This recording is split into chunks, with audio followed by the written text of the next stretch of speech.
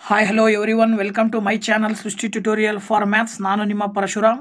ನಾನು ಇವತ್ತಿನ ದಿನ ಎಸ್ ಎಸ್ ಎಲ್ ಸಿ ವಿದ್ಯಾರ್ಥಿಗಳಿಗಾಗಿ ಕೆ ಎಸ್ ಇ ಎ ಬಿಯಿಂದ ಬಿಟ್ಟಂಥ ಮಾಡಲ್ ಕ್ವಶನ್ ಪೇಪರ್ ಎರಡು ಸಾವಿರದ ಇಪ್ಪತ್ತೆರಡು ಇಪ್ಪತ್ತ್ಮೂರರ mathematics English medium subject English ಮೀಡಿಯಮಿಗೆ ಸಂಬಂಧಪಟ್ಟ ಹಾಗೆ ಟೂ ಮಾರ್ಕ್ಸ್ ಕ್ವಶನ್ ಹೇಗೆ ಬರ್ತಾ ಬಂದಿದ್ದಾವೆ ಸೊ ಆ ಟೂ ಮಾರ್ಕ್ಸ್ ಕ್ವಶನನ್ನು ಸಾಲ್ವ್ ಮಾಡ್ತಕ್ಕಂತಹ ವಿಧಾನದ ಬಗ್ಗೆ ತಿಳಿಸ್ಕೊಡ್ತಾ ಇದ್ದೀನಿ.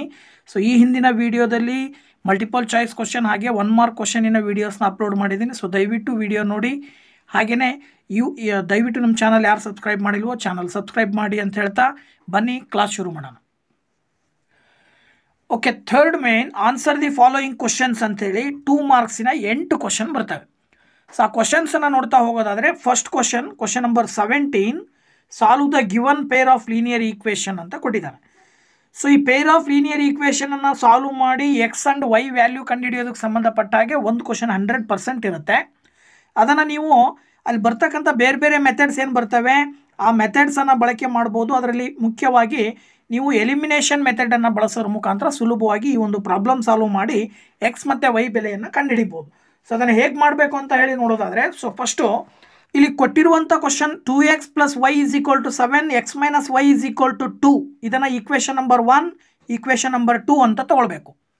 ಇದಾದ ನಂತರ ಇಲ್ಲಿ ಆ್ಯಕ್ಚುಲಿ ಎರಡೂ ಈಕ್ವೇಷನ್ ಅಬ್ಸರ್ವ್ ಮಾಡಿದಾಗ ಎಕ್ಸ್ನ ಕೊಯಿಫಿಸಿಯೆಂಟ್ ಅಥವಾ ವೈನ ಕೊಯಿಫಿಸಿಯೆಂಟ್ ಈಕ್ವಲ್ ಇರಬೇಕು ಎರಡೂ ಈಕ್ವೇಷನಲ್ಲಿ ಯಾವುದಾದ್ರೂ ಇದೆಯಾ ನೋಡೋದಾದರೆ ಆ್ಯಕ್ಚುಲಿ ಟೂ ಎಕ್ಸ್ ಇದೆ, ಇಲ್ಲಿ ಎಕ್ಸ್ ಇದೆ.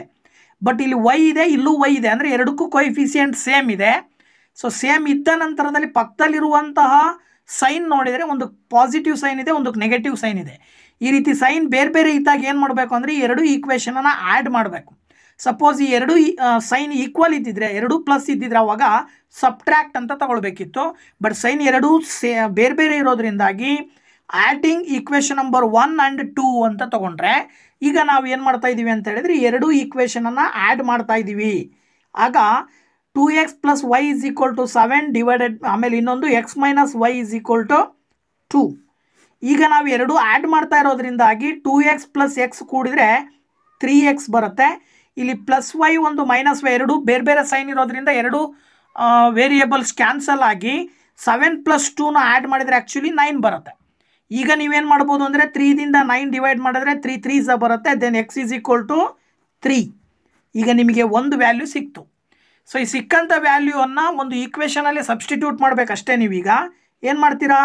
Substitute the value of X in equation number one ಅಂತ ತಗೊಳ್ಳಿ.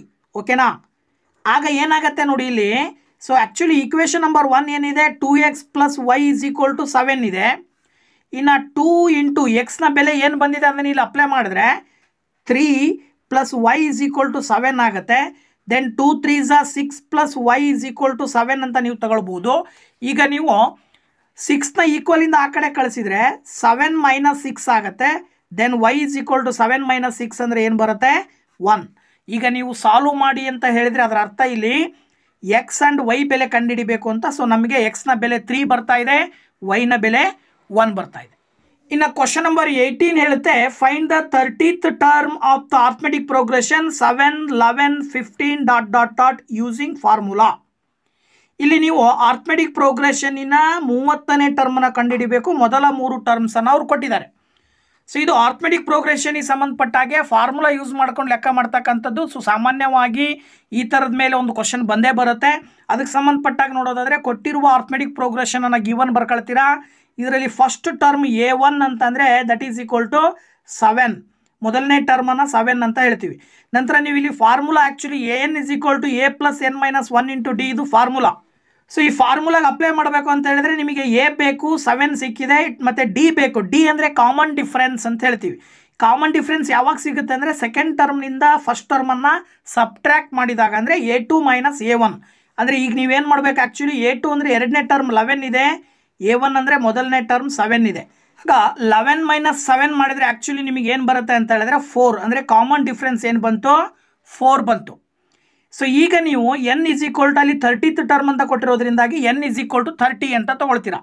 ಸೊ ಈಗ ಇದಿಷ್ಟು ವ್ಯಾಲ್ಯೂಸನ್ನು ಫಾರ್ಮುಲಾಗೆ ಸಬ್ಸ್ಟಿಟ್ಯೂಟ್ ಮಾಡಿದ್ರೆ, ನೋಡಿ ಎ ಎನ್ ಅಂತ ಹೇಳಿದ್ರೆ a thirty is equal to a ಅಂತ ಹೇಳಿದ್ರೆ ಸೆವೆನ್ ಪ್ಲಸ್ ಎನ್ ಅಂತ ಹೇಳಿದ್ರೆ actually thirty minus one into d ಅಂತ ಹೇಳಿದ್ರೆ ಫೋರ್ ಸೊ ಈಗ ಸಿಂಪ್ಲಿಫೈ ಮಾಡಿದಾಗ a thirty is equal to seven plus thirty minus one ಅಂದರೆ ಆ್ಯಕ್ಚುಲಿ ಟ್ವೆಂಟಿ ನೈನ್ ಬರುತ್ತೆ ಇಂಟು ಫೋರ್ ಆಗ a thirty is equal to seven plus twenty nine ಮತ್ತು ಫೋರ್ನ multiply ಮಾಡಿದ್ರೆ ಆ್ಯಕ್ಚುಲಿ ಟ್ವೆಂಟಿ ನೈನ್ ಮತ್ತು ಫೋರ್ನ ಮಲ್ಟಿಪ್ಲೈ ಮಾಡಿದ್ರೆ ಒನ್ ಹಂಡ್ರೆಡ್ ಸಿಕ್ಸ್ಟೀನ್ ಬರುತ್ತೆ. So that a thirty is equal to seven plus one hundred sixteen add ಮಾಡಿದ್ರೆ one twenty three ಅಂದರೆ ಇದರ ಅರ್ಥ ಮೂವತ್ತನೇ ಟರ್ಮ್ ಈ ಒಂದು ಆರ್ಥಮೆಟಿಕ್ ಪ್ರೋಗ್ರೆಷನಿನ ಮೂವತ್ತನೇ ಟರ್ಮ್ ಎಷ್ಟಿರುತ್ತೆ? ಒನ್ ಟ್ವೆಂಟಿ ತ್ರೀ ಇರುತ್ತೆ ಅಂತ ಹೇಳಿ ನಾವು ಸುಲಭವಾಗಿ ಹೇಳಬಹುದು. So the answer is one twenty three okay ಇನ್ನು ಕ್ವಶನ್ ನಂಬರ್ ನೈನ್ಟೀನ್ ನೋಡಿ. ಕ್ವಶನ್ ನಂಬರ್ ನೈನ್ಟೀನ್ ಏನು ಹೇಳುತ್ತೆ? Find the roots of the quadratic equation x square plus four x plus five is equal to zero using the quadratic formula so ಇದು ಕೂಡ ಹತ್ತೊಂಬತ್ತನೇ ಪ್ರಶ್ನೆ ಏನು ಕೊಟ್ಟಿ, ಕೊಟ್ಟಿದ್ದಾರೆ? ಸೊ, ಸಾಮಾನ್ಯವಾಗಿ ಕ್ವಶನ್ ಪೇಪರ್ನಲ್ಲಿ ಒಂದು ಕ್ವಶನ್ ಎರಡು ಮಾರ್ಕ್ಸಿಗೆ ಹಂಡ್ರೆಡ್ ಪರ್ಸೆಂಟ್ ಇರುತ್ತೆ.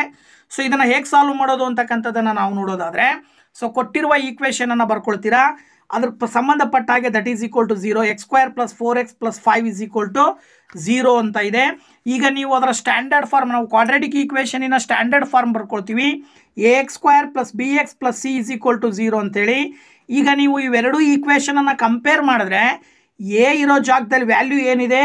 ಒನ್ ಹಾಗೆಯೇ ಬಿ ಇರೋ ಜಾಗದಲ್ಲಿ ವ್ಯಾಲ್ಯೂ ಏನಿದೆ? ಫೋರ್ ಆ್ಯಂಡ್ ದೆನ್ ಸಿ ಇರೋ ಜಾಗದಲ್ಲಿ ವ್ಯಾಲ್ಯೂ ಏನಿದೆ? ಫೈವ್ ಸೊ ಈ ರೀತಿ ವ್ಯಾಲ್ಯೂಸನ್ನು ತಗೊಂಡ ನಂತರದಲ್ಲಿ ಕ್ವಾಡ್ರೆಟಿಕ್ ಫಾರ್ಮುಲಾವನ್ನು ಬರ್ಕೊಳ್ಬೇಕು. ಸೊ ಕ್ವಾಡ್ರೆಟಿಕ್ ಫಾರ್ಮುಲಾ ಏನು ಹೇಳುತ್ತೆ ಅಂದರೆ x is equal to minus b plus or minus square root of b square minus four a c divided by two a ಇದು ಕ್ವಾಡ್ರೆಟಿಕ್ ಫಾರ್ಮುಲಾ ಸೊ ಈ ಫಾರ್ಮುಲಾಗೆ ನೀವು ಈ ವ್ಯಾಲ್ಯೂಸನ್ನು ಸಬ್ಸ್ಟಿಟ್ಯೂಟ್ ಮಾಡಿದ್ರೆ x is equal to minus b ಅಂತ ಹೇಳಿದ್ರೆ actually four plus or minus square root of b square ಅಂತ ಹೇಳಿದ್ರೆ four square minus four into a ಅಂತ ಹೇಳಿದ್ರೆ ಒನ್ ಸಿ ಅಂತ ಹೇಳಿದ್ರೆ five whole divided by two into a ಅಂದರೆ actually one ಈಗ ನೀವು ಇದನ್ನ ಸಿಂಪ್ಲಿಫೈ ಮಾಡ್ತಾ ಇದ್ದೀರಾ? Minus four plus or minus square root of four square ಮಾಡಿದ್ರೆ ಸಿಕ್ಸ್ಟೀನ್ ಬರುತ್ತೆ. Minus four ones of four next ಮತ್ತೆ ಫೋರ್ ಇಂಟು ಫೈವ್ ಮಾಡಿದ್ರೆ ಟ್ವೆಂಟಿ ಬರುತ್ತೆ. Whole divided by two one Jha two so ಈಗ ನೀವೇನು ಮಾಡ್ಬೋದು? X is equal to minus four plus or minus square root of sixteen minus twenty ಮಾಡಿದ್ರೆ actually minus four ಬರುತ್ತೆ divided by two so ಇಲ್ಲಿಗೆ ನೀವು ಇದನ್ನು ಏನು ಮಾಡ್ಬೋದು ಅಂತ ಹೇಳಿದ್ರೆ ಆ್ಯಕ್ಚುಲಿ ರೂಟ್ ಒಳಗಡೆ ಮೈನಸ್ ಬರಂಗಿಲ್ಲ. ರೂಟ್ ಒಳಗಡೆ ಮೈನಸ್ ಬಂತು ಅಂದರೆ ನಿಮಗೆ ಡಿಸ್ಕ್ರಿಮಿನೆಂಟ್ ಅಂತ ಬರುತ್ತೆ. ಡೆಲ್ಟಾ ಏನಾಗಿರುತ್ತೆ? ಲೆಸ್ ದ್ಯಾನ್ ಝೀರೋ ಅಂತ ಅರ್ಥ. ಅಂದರೆ delta is less than zero ಯಾವಾಗ ಬರುತ್ತೆ ಆಗ ರೂಟ್ಸ್ ಎಕ್ಸಿಸ್ಟ್ ಆಗಲ್ಲ. ಹಾಗಾಗಿ ನಾವು ಇದನ್ನು ಸಪ್ರೇಟ್ ಮಾಡಿ ಬರ್ಕೊಂಡ್ರೆ root minus four divided by two ಇನ್ನೊಂದು x is equal to minus four minus root minus four by two ಅಂತ ಬರ್ಕೊಂಡ್ರು. ಇದನ್ನು ನಾವು ಮುಂದೆ ಸಾಲ್ವ್ ಮಾಡಲಿಕ್ಕೆ ಅಥವಾ ಅದರ ಎಕ್ಸ್ನ ಬೆಲೆ ಕಂಡುಹಿಡಿಯಲಿಕ್ಕೆ ಸಾಧ್ಯ ಆಗದೇ ಇರೋದ್ರಿಂದಾಗಿ ಏನಂತ ಹೇಳಬೇಕು ಅಂದರೆ delta is less than zero therefore roots are not exist ಅಂತ ಬರಿಬೇಕಾಗತ್ತೆ. ಅಂದರೆ ಇದರ ಅರ್ಥ ಎಕ್ಸಿಗೆ ಯಾವುದೇ ತರಹದ ಪರ್ಟಿಕ್ಯುಲರ್ ವ್ಯಾಲ್ಯೂ ಬರೋದಿಲ್ಲ. ಅದು ಇಮ್ಯಾಜಿನರಿ ರೂಟ್ ಆಗಿರುತ್ತೆ ಅನ್ನೋದನ್ನು ಇದು ತಿಳಿಸ್ಕೊಡ್ತದೆ. ಇನ್ನು ಅದೇ ಕ್ವಶನ್ ನಂಬರ್ ನೈನ್ಟೀನ್ನಲ್ಲಿ ಆರ್ ಅಂತ ಕೊಟ್ಟು ಇನ್ನೊಂದು ಕ್ವಶನ್ ಕೊಟ್ಟಿದ್ದಾರೆ. Find the roots of the quadratic equation two x square plus x minus four is equal to zero by the method of completing the square ಅಂದರೆ ಕ್ವಾಡ್ರಾಟಿಕ್ ಈಕ್ವೇಶನ್ ಅನ್ನು solve ಮಾಡಲಿಕ್ಕೆ ಮುಖ್ಯವಾಗಿ quadratic formula method ಬರುತ್ತೆ completing the square method ಬರುತ್ತೆ, ಇನ್ನೊಂದು factorisation method ಬರುತ್ತೆ ಹಾಗೆಯೇ graphical method ಬರುತ್ತೆ. ಇವುಗಳಲ್ಲಿ ನಿಮಗೆ ಮುಖ್ಯವಾಗಿ ಮೊನ್ನೆ ಕ್ವಶನ್ ಏನು ಕೊಟ್ಟಿದ್ದಾರೆ? ಹತ್ತೊಂಬತ್ತರಲ್ಲಿ ಮೊದಲನೇದು ಕ್ವಾಡ್ರಾಟಿಕ್ ಫಾರ್ಮುಲಾದಲ್ಲಿ ಕೊಟ್ಟಿದ್ದಾರೆ. ಇದನ್ನಾದರೂ ಮಾಡ್ಬೋದು ಅಥವಾ ಇನ್ನೊಂದು ಕಂಪ್ಲೀಟಿಂಗ್ ದಿ ಸ್ಕ್ವೇರ್ ಮೆಥಡಲ್ಲಿ ಕೊಟ್ಟಿದ್ದಾರೆ, ಅದನ್ನಾದರೂ ಸಾಲ್ವ್ ಮಾಡ್ಬೋದು ಸೊ ಈಗ ನಾನು ಏನು ಮಾಡ್ತೀನಿ ಅಂತ ಹೇಳಿದ್ರೆ ಕಂಪ್ಲೀಟಿಂಗ್ ದ ಸ್ಕ್ವೇರ್ ಮೆಥಡಲ್ಲಿ ಹೇಗೆ ಸಾಲ್ವ್ ಮಾಡೋದು ಅಂತಕ್ಕಂಥದ್ದನ್ನು ತಿಳಿಸ್ಕೊಡ್ತಾ ಇದ್ದೀನಿ. ನೋಡಿ find the roots of the quadratic equation two x square plus x minus four is equal to zero by the method of completing the square method ಅಂತ ಇದೆ. ಸೊ ಇದನ್ನು solve ಮಾಡ್ತಕ್ಕಂಥದ್ದನ್ನು ನಾವಿಲ್ಲಿ ನೋಡೋದಾದರೆ, ನೋಡಿ, ಇಲ್ಲಿ ಏನು ಮಾಡಬೇಕು?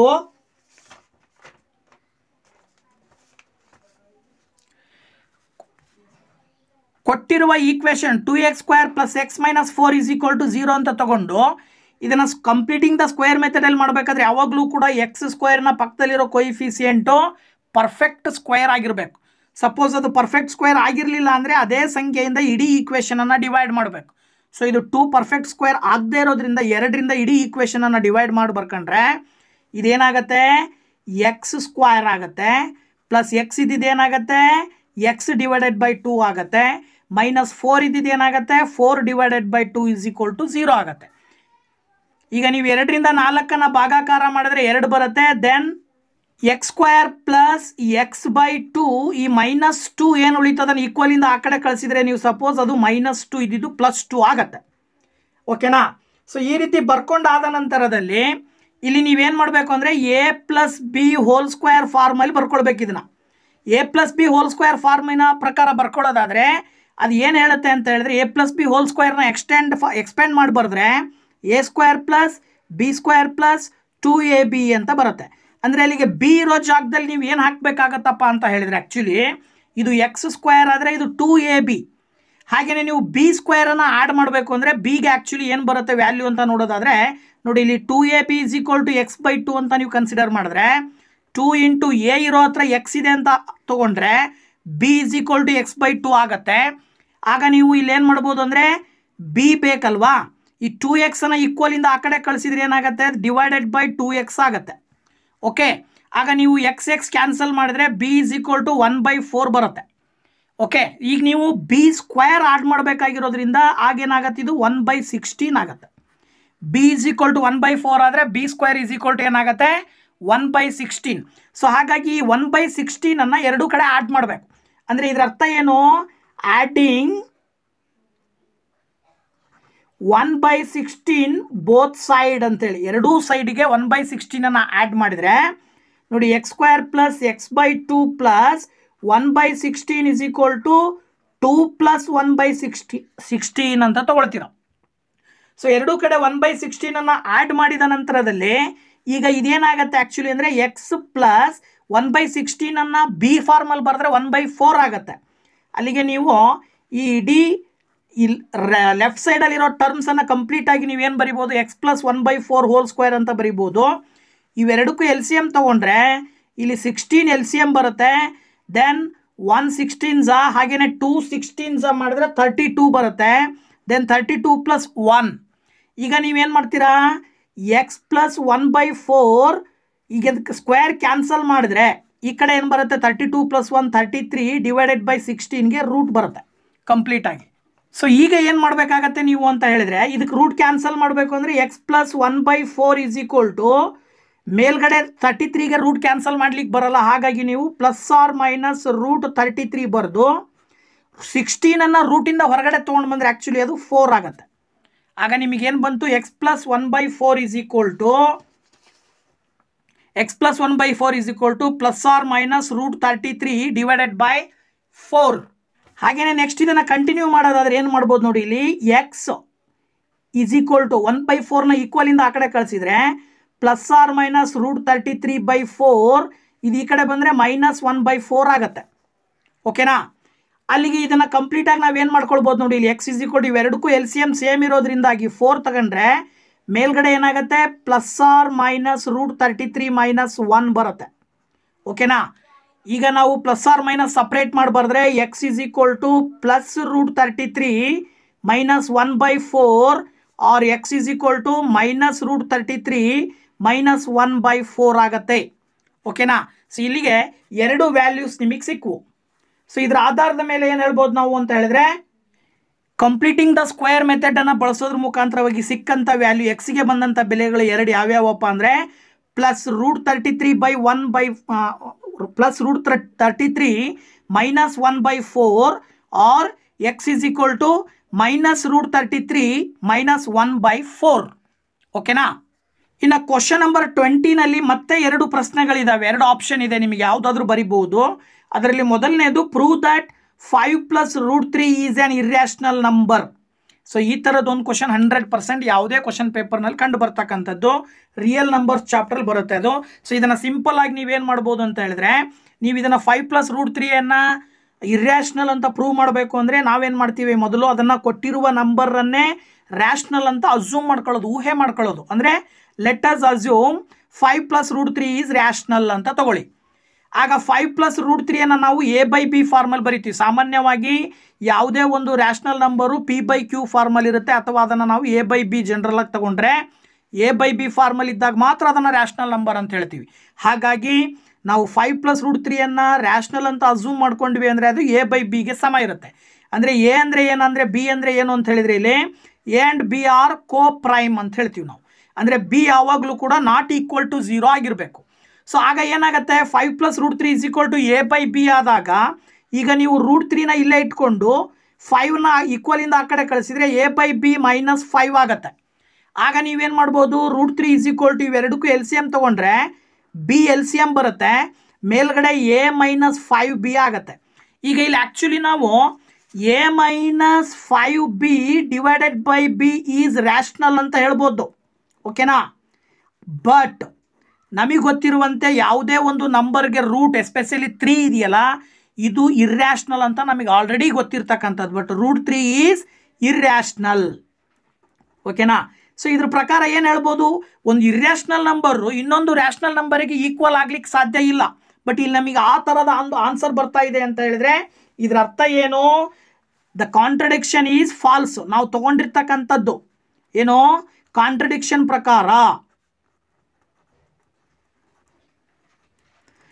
So that is the contradiction is wrong ನಾವು ತಗೊಂಡಿರುವಂಥ ಊಹೆ ತಪ್ಪಾಗಿದೆ ಅಂತ ನಾವು ಸುಲಭವಾಗಿ ಹೇಳ್ಬೋದು ಇಲ್ಲಿ. ಸೊ ಕಾಂಟ್ರಡಿಕ್ಷನ್ ರಾಂಗ್ ಆಗಿದೆ ಅಂತ ಹೇಳಿದರೆ ಅದರ ಅರ್ಥ ನಾವು ಹೇಳ್ಬೋದು ಇಲ್ಲಿ? Five plus root three is five plus root three is irrational ಅಂಥೇಳಿ ಸುಲಭವಾಗಿ ಹೇಳಬಹುದು. ಈ ರೀತಿ ನೀವು ಬರಿಬೇಕಾಗತ್ತೆ. ಸೊ ಈ ರೀತಿ ಬರೆದಾಗ ನಿಮಗೆ ಎರಡು ಅಂಕಗಳು ಸುಲಭವಾಗಿ ಸಿಗ್ತವೆ.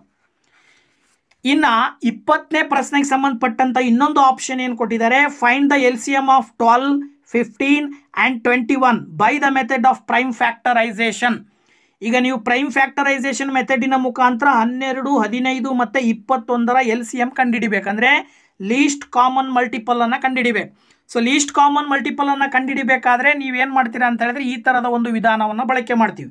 ಕೊಟ್ಟಿರುವ ಸಂಖ್ಯೆಗಳನ್ನು ಬರ್ಕೊಂಡು ಇಲ್ಲಿ ಪ್ರೈಮ್ ಫ್ಯಾಕ್ಟರ್ಸನ್ನು ತಗೊಳ್ತಾ ಹೋಗೋದು. ಪ್ರೈಮ್ ಫ್ಯಾಕ್ಟರ್ಸನ್ನು ಹೆಂಗೆ ತೊಗೊಳ್ತೀರಿ ಅಂತ ಹೇಳಿದ್ರೆ ಪ್ರಾರಂಭ ಎರಡರಿಂದ ಪ್ರಾರಂಭ ಮಾಡೋಣ. ಸೊ ಎರಡರಿಂದ ಇಲ್ಲಿ ಯಾವ ಸಂಖ್ಯೆಗಳು ಭಾಗ ಆಗ್ತವೆ? ಹನ್ನೆರಡು ಭಾಗ ಆಗುತ್ತೆ, ಎರಡು ಆರ್ಲೆ. ಸೊ ದೆನ್ ಫಿಫ್ಟೀನ್ ಡಿವೈಡ್ ಆಗಲ್ಲ ಆಸ್ ಇಟ್ ಈಸ್ ಬರೀತೀರಾ? ಟ್ವೆಂಟಿ ಒನ್ ಕೂಡ ಡಿವೈಡ್ ಆಗಲ್ಲ ಆಸ್ ಇಟ್ ಈಸ್ ಬರೀತೀರಾ? ಇನ್ನು ನೆಕ್ಸ್ಟ್ ಮತ್ತೆ ಎರಡರಿಂದ ಸಿಕ್ಸ್ ಡಿವೈಡ್ ಆಗೋದ್ರಿಂದ ಟೂ ತ್ರೀಸಾ ಬಟ್ ಫಿಫ್ಟೀನ್ ಮತ್ತು ಟ್ವೆಂಟಿ ಒನ್ ಡಿವೈಡ್ ಆಗಲ್ಲ ಆಸ್ ಇಟ್ ಈಸ್ ಬರೀಬೇಕು. ಈಗ ನೀವು ಆ್ಯಕ್ಚುಲಿ ಮೂರು ಟರ್ಮ್ಸ್ ಕೂಡ, ಈ ಮೂರು ನಂಬರ್ಸ್ ಎರಡರಿಂದ ಡಿವೈಡ್ ಆಗದೇ ಇರೋದ್ರಿಂದ ಎರಡರ ನೆಕ್ಸ್ಟ್ ಪ್ರೈಮ್ ನಂಬರ್ ಯಾವುದು? ಮೂರು.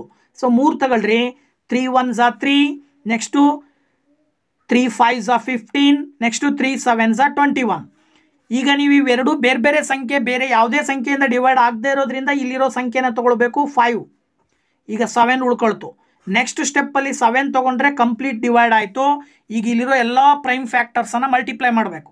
ಅಂದರೆ ಅಲ್ಲಿ ಏನು ಬರುತ್ತೆ ಅಂತ ಹೇಳಿದ್ರೆ L C M ಬೇಕಾಗಿರೋದ್ರಿಂದ L C M is equal to two into two into, three into, five into seven multiply ಮಾಡ್ತೀರಾ? ಈಗ ಇವಿಷ್ಟನ್ನು ಮಲ್ಟಿಪ್ಲೈ ಮಾಡಿದ್ರೆ, ಸೊ ಇದಿಷ್ಟನ್ನ ಮಲ್ಟಿಪ್ಲೈ ಮಾಡಿದ್ರೆ ಟೂ ಟೂ ಝ ಫೋರ್ ಫೋರ್ ತ್ರೀ ಝ ಟ್ವೆಲ್ ಟ್ವೆಲ್ ಫೈವ್ ಝ ಸಿಕ್ಸ್ಟಿ ಸಿಕ್ಸ್ಟಿ ಸೆವೆನ್ ಝ ಫೋರ್ ಹಂಡ್ರೆಡ್ ಟ್ವೆಂಟಿ ಬರುತ್ತೆ. ಎಷ್ಟು ಬರುತ್ತೆ ಆನ್ಸರು? ನಾನ್ನೂರ ಇಪ್ಪತ್ತು ಬರುತ್ತೆ. This is the L C M of twelve fifteen twenty one ಓಕೆನಾ ಸೊ ಮಲ್ಟಿಪ ಈ ಒಂದು ಎರಡಂಕದ ಪ್ರಶ್ನೆಗಳಿಗೆ ಸಂಬಂಧಪಟ್ಟ ಹಾಗೆ ನಾಲ್ಕು ಪ್ರಶ್ನೆಗಳನ್ನು ಈ ಒಂದು ವಿಡಿಯೋದಲ್ಲಿ ತಿಳಿಸ್ಕೊಡ್ತಾ ಇದ್ದೀನಿ. ಸೊ ನೆಕ್ಸ್ಟ್ ವಿಡಿಯೋದಲ್ಲಿ ಇದೇ ಎರಡಂಕದ ಪ್ರಶ್ನೆಗಳಿಗೆ ಸಂಬಂಧಪಟ್ಟಂಥ ಇನ್ನ ನಾಲ್ಕು ಪ್ರಶ್ನೆಗಳನ್ನು ತಿಳಿಸ್ಕೊಡ್ತೀನಿ. ದಯವಿಟ್ಟು ವಿಡಿಯೋ ಇಷ್ಟ ಆದರೆ ಲೈಕ್ ಮಾಡಿ ಶೇರ್ ಮಾಡಿ ಕಮೆಂಟ್ ಮಾಡೋದನ್ನು ಮರಿಬೇಡಿ ಅಂತ ಹೇಳ್ತಾ once again thank you very much bye bye